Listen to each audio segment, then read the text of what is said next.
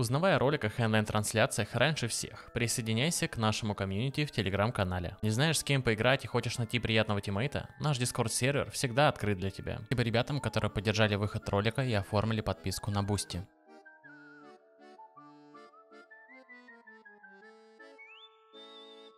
Приветствую тебя, дружище, ты на канале Амургим.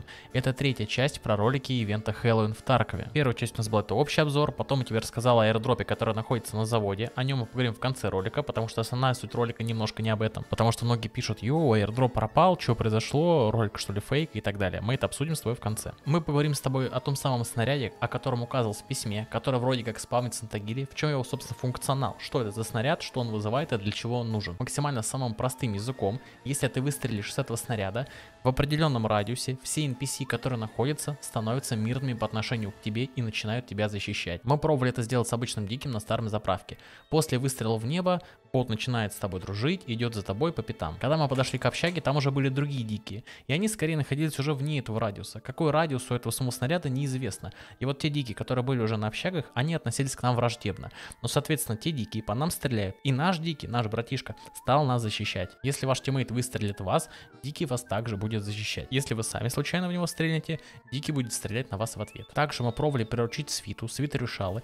Да, это работает. Непонятно, то ли из-за скрипта решала со своей свитой не пошли дальше общак за нами, то ли просто что-то забагалось. Но факт того, что снаряд влияет как на боссов, так и на его свиту. Они становятся к вам дружелюбны. Также мы пробовали на локации завод приручить сектантов, но обернулся это неуспехом, потому что даже дикие не стали нас слушаться. Почему же на локации завод дикие не стали нас слушаться? А потому что, скорее всего, данный снаряд работает как аирдроп. Ему нужно преодолеть определенную высоту, чтобы он сработал. Соответственно, на заводе нет данной высоты, и снаряд попросту не срабатывает. Мы выстрелили вверх, но дикие также по нам начали стрелять на заводе. Получается, после выстрела вверх с этого нового снаряда, те NPC, которые находятся в определенной зоне, а именно в зоне вот рядом с вами, ну, я так понимаю, это примерно 50 метров от зоны выстрела, в момент выстрела. И все NPC, которые находились там, соответственно, становятся вашими друзьями. Единственная механика, которая была нереально затестить, это механика, а, работает ли это снаряд в пати, то есть если к нам подбегает другой ЧВК, который не с нами в пати, будет ли Дикий к нему также дружелюбен или нет, потому что в реалиях того же офлайн сервера это было попросту невозможно. Также мы это не проверили с Тагилой.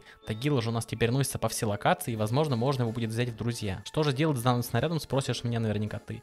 Однозначно. Используй его в разных ситуациях, экспериментируй, попробуй приручить Тагилу и отправиться с ним в путешествие по локации таможни. Не факт, что по окончании ивента данный снаряд будет вообще как-то работать. К тому же продать его нельзя, и смысла его просто так оставлять в схроне нет. Используй данный снаряд. Если ты ждал от меня ответа касательно того airdропа, который находится на заводе, если ты не в курсе о чем я, посмотри вот этот вот ролик. Так вот, возможно, либо BSG просто прикрыли эту фичу, мол, такие, а, что-то как-то слишком много народа лутается и уже узнали, что там у нас airdrop. Либо что-то забагалось, и он отключился на время, либо его уже перенесли. То есть, соответственно, теперь какой-нибудь другой кейс выполняет ту же функцию, и где он находится, и на какой локации неизвестно. Но как только информация станет известна, ты сразу же о ней узнаешь. Получается, вот и все. А я могу уже тебе отправиться спать.